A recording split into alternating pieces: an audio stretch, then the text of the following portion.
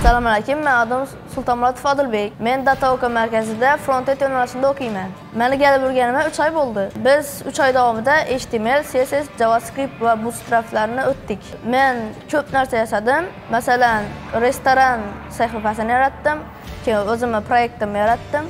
Va ko'pgina o'yinlarni ham yaratdim. Men it kompaniya yaratmoqchiman va hozirda u haqida bosh qotirmoqdaman menga data juda yoqadi uning atmosferasi juda zo'r. Men savdogarlar ustozi yoxud omad kaliti marketing adan million dollarlik xatolar rework zero to one genri ford ilon mask shularni hammasini to'liq o'qib chiqqanman. Mening o'qituvchim xudo shukur madrimov front end yo'nalishida bizlarga dars beradi. Uning o'qitishi juda zo'r va o'zlashtirishim oson bo'ldi.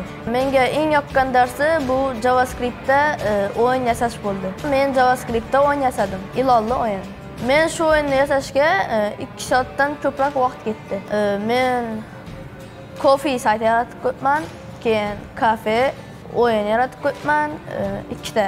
Birsi ilonli o'yin birsi googledagi e, ajdarho o'yini keyin yana men o'z biznesim haqida sayt yaratib qo'yibman и kitoblar saytini yaratib qo'yibman e, mening eng katta maqsadim eng katta it kompaniyani ochish. Men xudo shukur madrimov ustozimga juda katta rahmat aytmoqchiman.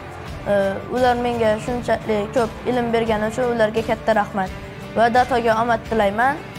Bu yerni atmosferasi juda zo'r. Sizlarga ham tavsiya qilaman.